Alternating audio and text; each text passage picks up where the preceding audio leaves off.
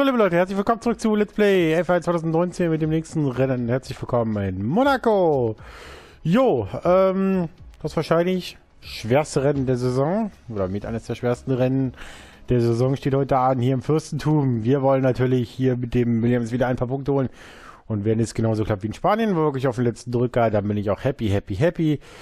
Äh, aber mal gucken, was drin ist letztendlich in diesem doch, ja, relativ schweren Rennen, ihr Lieben, aber da kann ja viel passieren. So, nach gestern meinem kommentierten Stream aus der Classic Liga geht es heute auch in der Karriere bei mir weiter, beziehungsweise vorgestern war es ja äh, mal ein bisschen was anderes. Ich kommentiere übrigens nicht die ganze Zeit, sondern nur, wenn ich halt wirklich die Zeit dazu habe.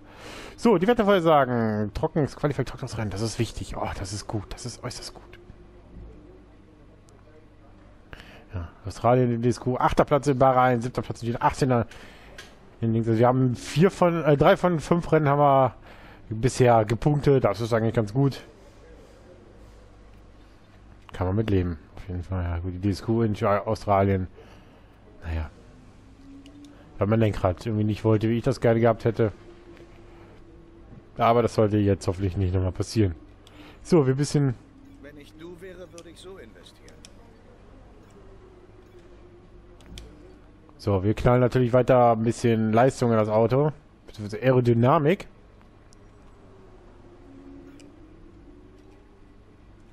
Damit wir da auch ein bisschen weiter gemacht bekommen. So. Gut. Gehen wir rein. Das erste freie Training hier im Fürstentum.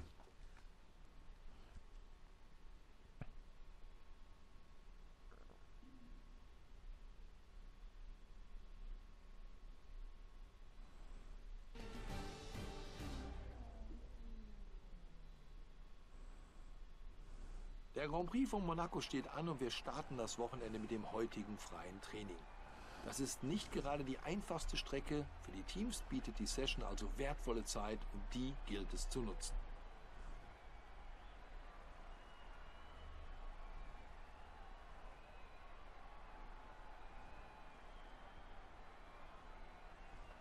Ich bin wieder mit Stefan Römer vor Ort. Schön dich zu sehen und ich möchte dich auch gleich fragen, wie diese Fahrer die Autos während des Trainings verbessern. Wie viel denkst du, kennt man bereits durch Simulationen und wie viel Arbeit muss man schließlich noch mit den echten Wagen auf der echten Strecke reinstecken? Eine sehr gute Frage und ich glaube, es lässt sich leicht damit beantworten, dass man nie genug Informationen haben kann. Die größeren Teams haben sehr komplexe Simulationen und kluge Leute, die sozusagen im Hauptquartier mit den Zahlen spielen. Sie können dir allerdings nicht sagen, wie die Streckenbedingungen sein werden. Wie hoch wird die Temperatur sein und wie wird sich das alles auf die Reifen auswirken? Es gibt Millionen an Variablen, die für das Rennen an sich wichtig sind, doch der Computer kann das Auto den Bedürfnissen des Fahrers nie ganz anpassen. Irgendwann muss mal ein Mensch mit dem Ding fahren und alles so richtig spüren, weshalb die Fahrer unterschiedliche Einstellungen haben. Nichts ist besser als das Testfahren auf der Strecke.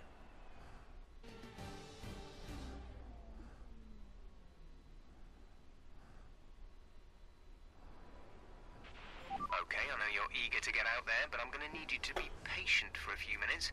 We're just trying to zero in on an oil leak. Ja, wir wollen natürlich in Monaco auch ein bisschen was holen an Punkten. Ich habe natürlich wieder ein Setup drin. Ich habe genauso kann das Kanada-Setup geholt. Im Kanada kann tatsächlich durchaus ein bisschen Regen passieren. So, wir überspringen kurz eben die kleine Wartephase, weil sonst hätte ich zwei Minuten jetzt durchquatschen müssen. Und wir gucken mal, was auf der Strecke drin ist heute hier in ja, Monaco im Fürstentum. Die Strecke wird natürlich alles andere, das wird heute wieder, also dieses Wochenende so alles andere als einfach werden.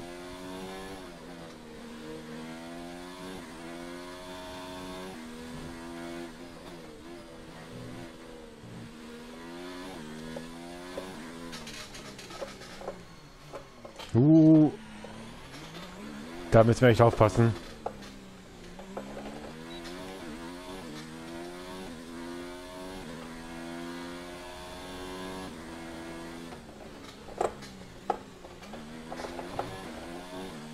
Also ich kann sein, dass ich ein bisschen weniger quatsche, weil ich mich auch mehr konzentrieren muss auf dieses Rennen.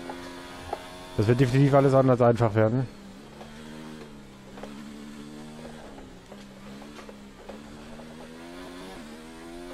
Heimrennen uns von Charles Leclerc. Ja. Genau das meine ich. Es passiert.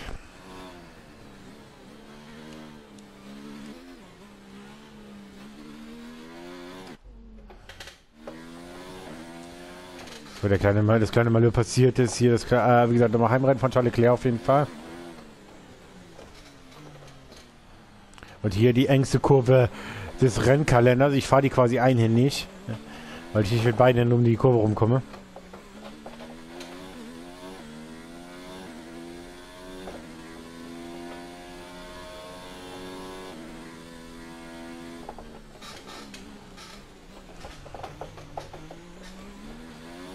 Charlie klären uns mit der Bestzeit. Wir sind eine halbe Sekunde hinter ihm. Also... Das auf den langsamsten Reifen.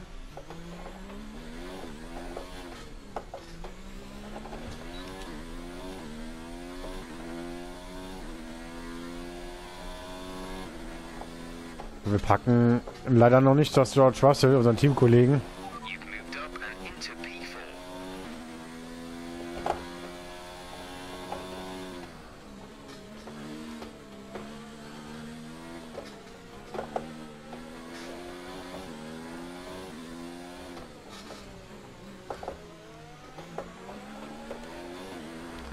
Ja, das ist halt auch Monaco. Da kann auch mal ein Fahrer, der gerade aus der Box rauskommt, wie es jetzt in diesem Fall Valtteri Bottas ist, der muss auch mal ein bisschen im Weg stehen.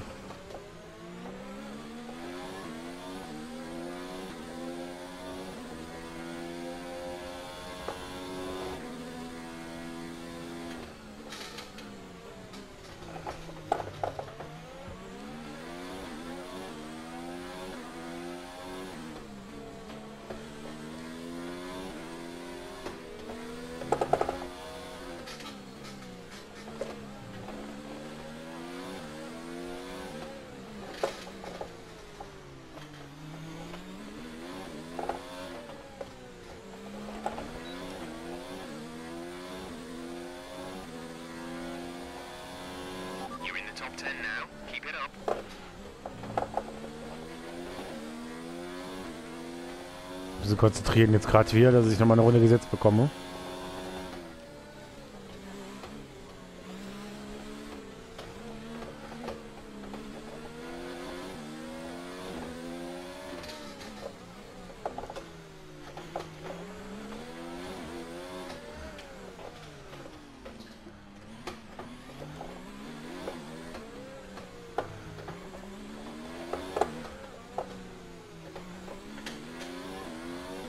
So, wir sind momentan ein bisschen besser dabei jetzt.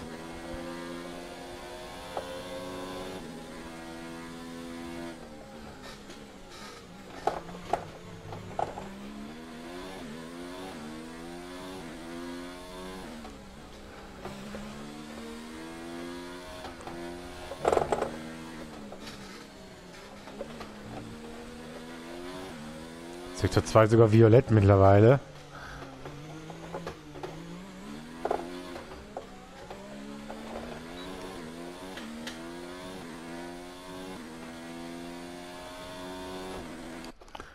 Fünf. Damit sind wir, glaube ich, auf Platz 2 gerade gesprungen. Also durchaus ein guter Auftakt hier aus Monaco. Zumindest stand jetzt. Dritter momentan hinter Herr Leclerc und hinter Lewis Hamilton. Also wir sind dran. Wir sind deutlich vor Bord, wir sind vor Bord. Das ist es halt auch immer, ne? Man muss halt aufsagen. Vor allem Leclerc ist nur ein 0, also 300 Vorsprung auf den leichtesten, so schnell Reifen. 1 minute 16.4. So, das soll das erste Freitraining sein. Ich, natürlich werden wir keine Top-Ergebnisse erwarten. Wobei Platz 4 tatsächlich ein Top-Ergebnis wäre. Also, mal gucken.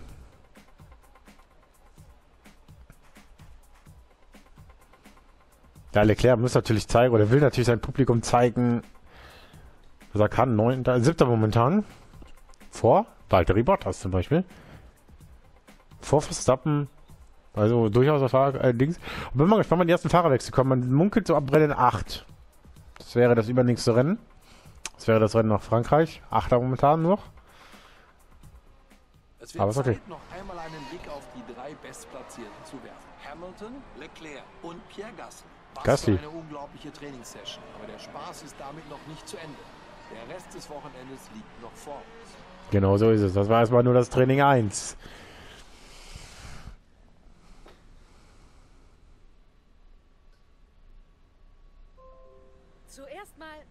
Glückwunsch. Das muss sehr aufregend sein. Denken Sie, dass Sie Ihre Zuverlässigkeitsprobleme bis zum Qualifying in den Griff bekommen? Sie sind ein paar Mal an der Mauer entlang geschrammt. Hatten Sie Schwierigkeiten mit dem Grip? Ja, ein bisschen, ein bisschen Abtrieb fehlt da noch in dem Auto. Danke für den Kommentar.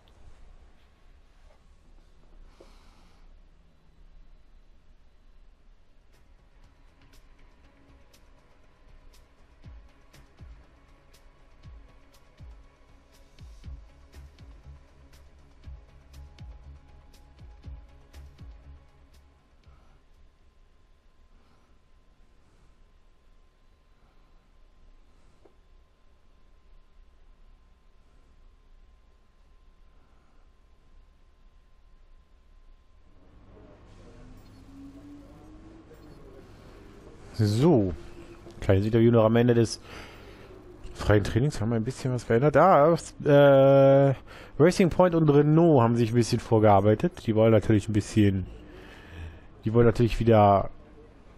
Oder beziehungsweise können sein, könnte sein, dass wir da mit dem Angebot bekommen, aber momentan habe ich noch keine Gedanken daran, Williams zu verlassen. Also wir wollen das Team ja wieder dahin bringen, wo es hingehört, nämlich nach vorne. Und ich habe mich aber übrigens auch als Williams-Fan super drüber gefreut über diesen ja doch nachträglichen Punkt für Robert Kubica beim Deutschland Grand Prix. Ähm, auch wenn es natürlich da die beiden sauber getro äh, getroffen waren mit der Disqualifikation, aber dann schade für die Jungs, aber zumindest halt so Kubica allen nochmal gezeigt, hey, ich bin doch noch da, ich kann doch nochmal was mal reißen und holt sich zumindest in der ersten Runde zumindest einen Punkt.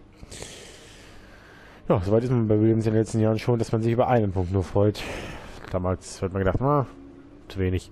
Aber wie dem auch sei. Naja, gut, gehen wir rein ins zweite, zweite Freitraining. Wir können vielleicht auch von Punkten träumen. Wir sind nämlich nur Achter, wir sind zumindest Achter geworden.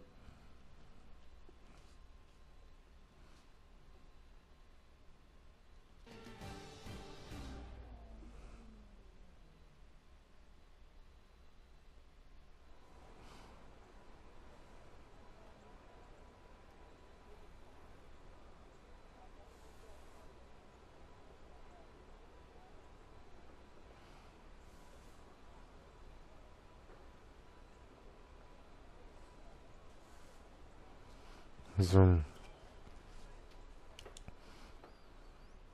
Okay. Dann gehen wir mal wieder auf die Strecke.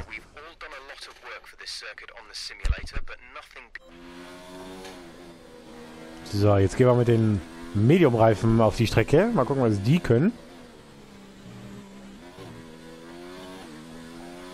Das erste Freitraining hat schon mal ein bisschen gezeigt, wir können mithalten, was Punkte betrifft. Aber das schaffen wir auch tatsächlich. Das wäre super.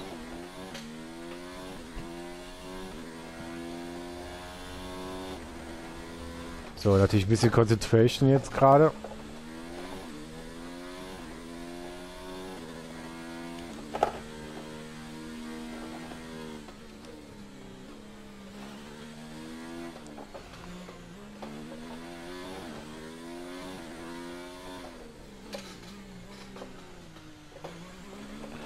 So, jetzt schön hier die Löwskurve, die ganz, ganz enge Kurve. Ah, da freue ich mich wieder auf den nächsten Grand Prix, weil Monaco ist so eine spezielle Strecke. Also die mir nicht so liegt, genauso wie Baku. Ich mag diese Stadtkurse nicht mehr. Aber jetzt äh, den nächsten, nächsten Rennen äh, Kanada und Frankreich könnte uns wieder ein bisschen liegen.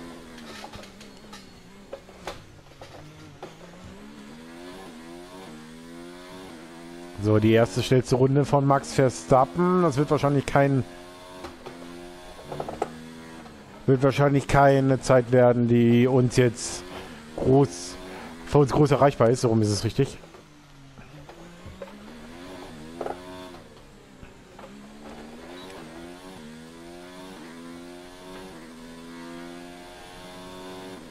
Oder auch doch. that last lap moves you up to P2. Nur minimal hinter dem äh, Hinter dem Red Bull. 200 nicht mal.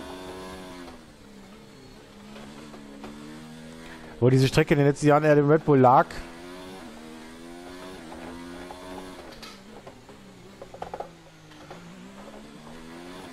Ich arbeite mich jetzt gerade ein bisschen rein. Oh, das wird natürlich Zeit kosten.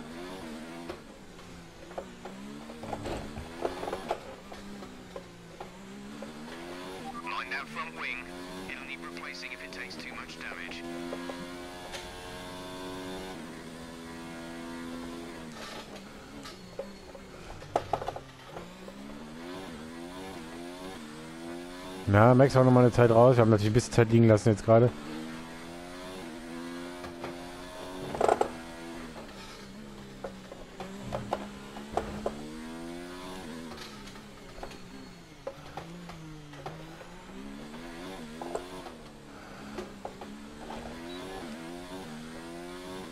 Ja, das wird nichts reichen.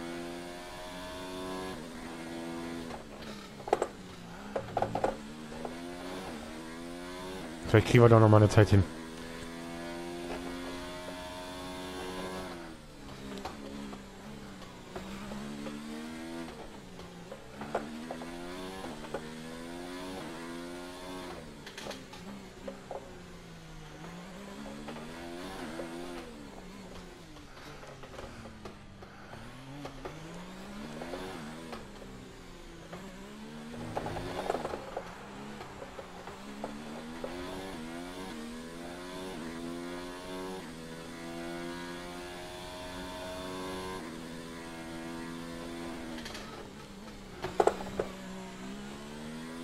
Ja klar, die gültige Rundenzeit, die habe ich verdient, da komme ich aber nicht um die Kurve. Da muss ich ein bisschen verbremsen, das muss man auf jeden Fall abstellen.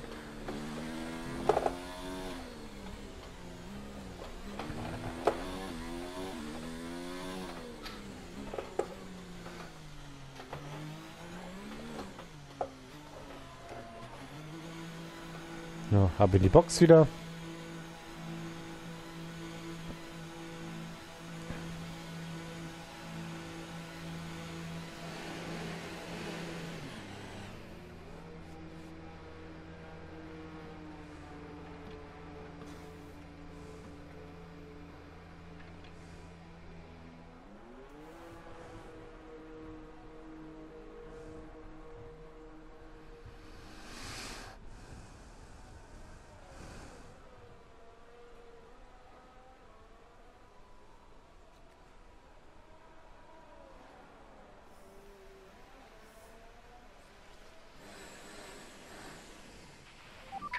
Repairs have set us back a little.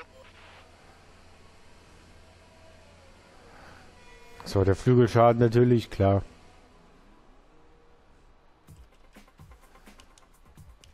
Die Zeiten so sagen, wir sind momentan, wie gesagt, gut dabei. Halbe Sekunde hinter dem Red Bull, vor Grosjean, vor Vettel. Mal gucken, weit wir kommen, die Mercedes dann nochmal zurückschlagen. Hamilton schlagen wir momentan auch auf den gleichen Reifensatz. Also wir sind momentan gut dabei vorne.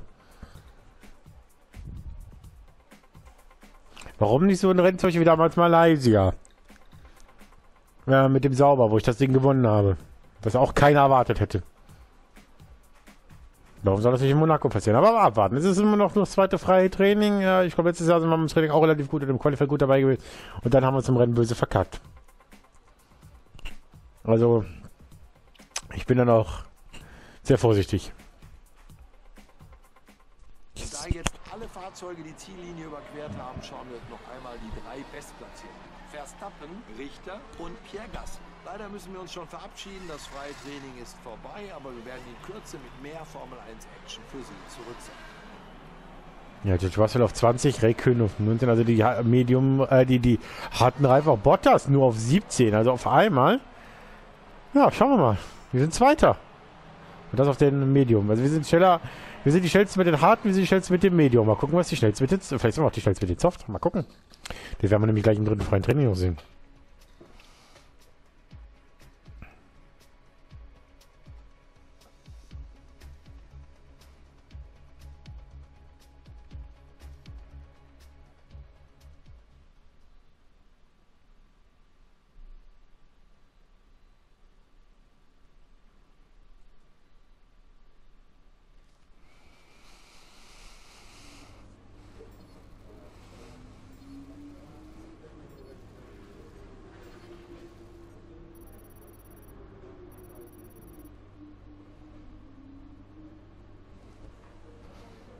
So.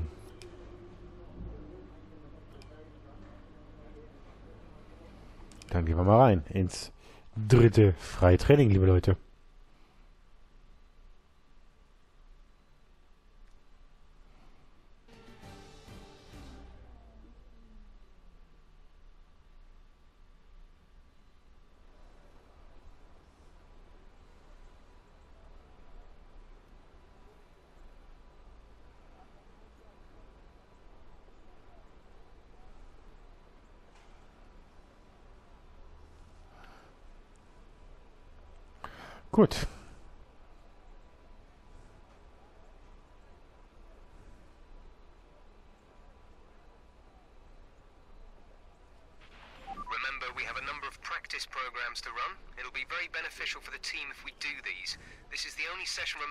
Them, so let's get on that pronto. So, dann setzen wir uns mal ins Auto und äh, fahren äh, ein paar Runden mit den äh, Softreifen. Äh, ja doch, mit den Softreifen, ja. Es gibt da keine Hypersoft und sowas mehr, sondern nur noch reine Softreifen.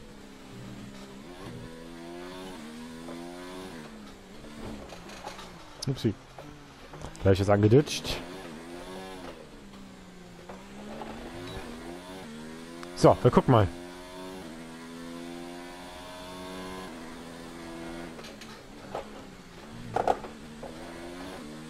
Also, es gibt ja kaum eine Strecke, wo wirklich der Stadtplatz wichtiger ist als hier. Hier ist es wichtig, sehr weit vorne zu starten, um, und, um sich eventuell aus dem ganzen Getümmel rauszuhalten. Vorne wegzufahren. Und gucken wir mal, wenn wir wirklich verzweifeln sollten in der Qualifikation morgen, äh, dann seht ihr mich hier wirklich jubeln. Also da freue ich mich drüber. Das wäre, aber mal gucken, wie gesagt. Momentan sieht es eigentlich ganz gut aus für das Auto, für uns.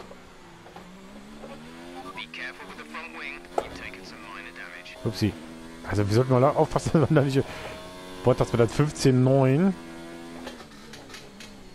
Ich habe jetzt gesehen, was der für Reifen drauf hatte. Medium.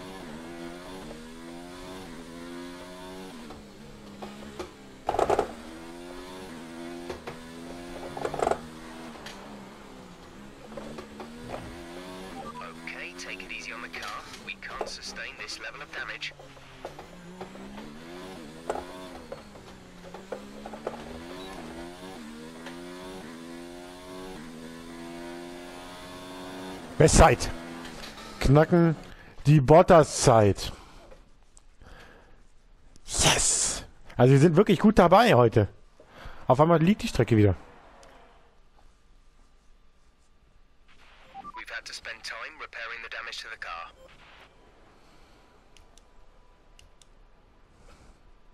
Wenn auch nur knapp. Wir sind vor Valtteri Bottas auf einmal. Wir haben Bestzeiten im zweiten, im zweiten Sektor. Da haben wir es geholt.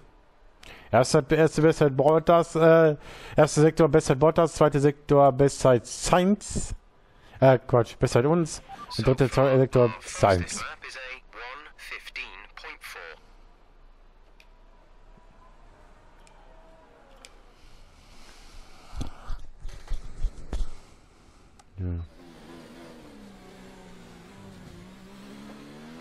Euer Flügel ist dran. Ich glaub, hoffe, wir haben genug dabei.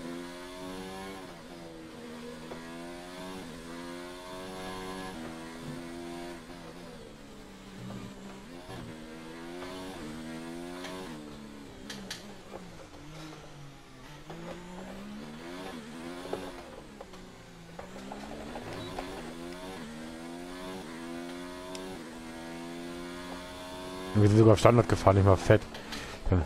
Fällt mir gerade auf.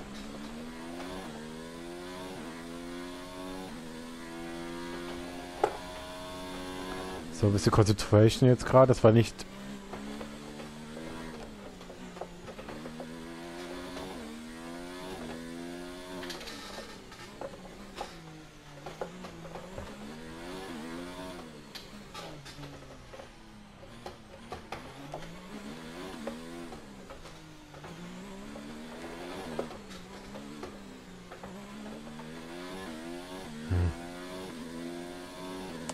Hamilton.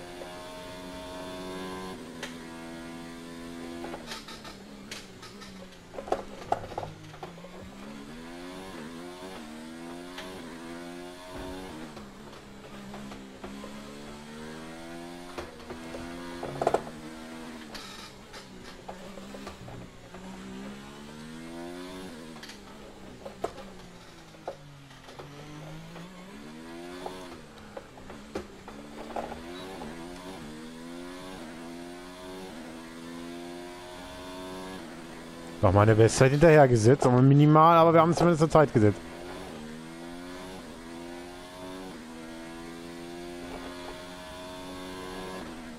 Und dafür sah es eigentlich gar nicht mal so gut aus in den ersten Sektoren.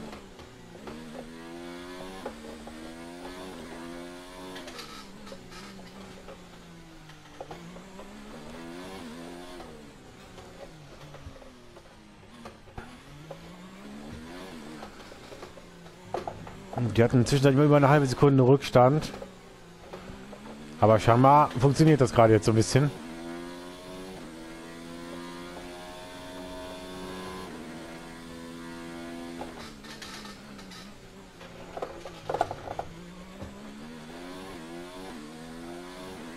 So, jetzt geht es im Hafen ein bisschen rund.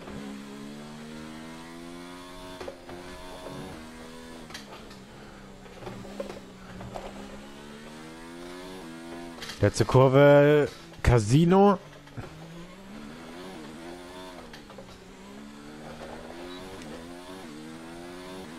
Da wird das immer eine neue Bestzeit werden. Und zwar auch im dritten Sektor. Wunderbar. Drei Bestzeiten hintereinander gesetzt. Also wir sind da, wo wir, wo wir sind, äh, wo wir uns eigentlich nicht erwartet hätten. Aber auf einmal funktioniert das Auto. Bestzeit ich habe mir dann nochmal gekontert, knapp. Okay, this is the only session that we've got left to complete our acclimatization program. So let's get out there. Na, Hamilton, auf einmal, wenn wir die Zeit nicht gesetzt hätten jetzt gerade, wären wir nämlich nicht vorne weg gewesen.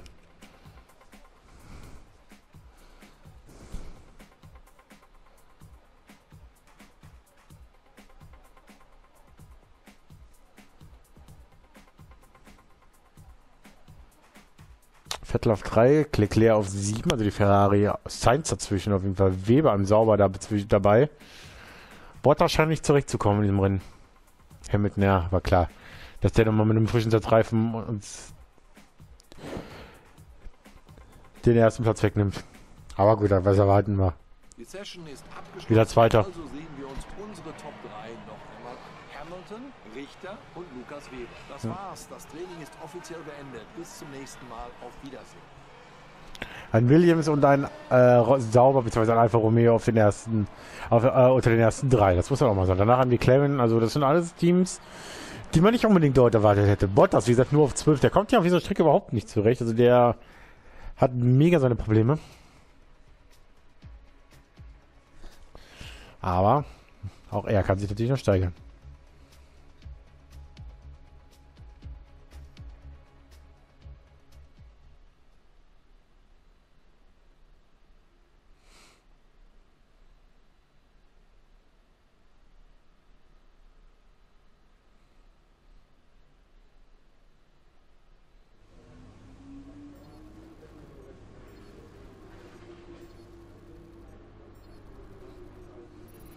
So. Wieder ein paar neue Dings. Uh, Williams will auf jeden Fall wieder ein bisschen was eingebüßt. Warum auch immer. Obwohl eigentlich gute Ergebnisse geholt haben. Guck mal, die Wettervorhersage. Qualifying und Reden, äh, trocken, das ist zumindest meine wichtigste Information. Ich habe Regen, dann hat man noch nicht so viele. Gut.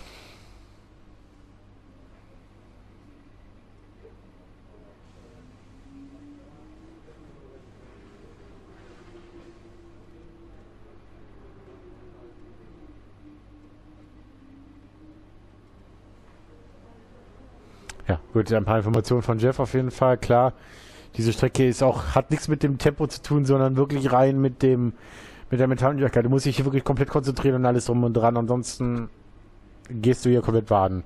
Gut, dann würde ich sagen, machen wir Feierabend. Wir sind ja nächste Folge wieder bei Let's Play F1 2019 mit dem Qualifikationstraining zum Großpreis Monaco. Das war das freie Training, freie Training für diesen Freitag. Wir sehen uns morgen wieder um 14 Uhr, wenn ihr Bock habt. Bis dahin und tschüss.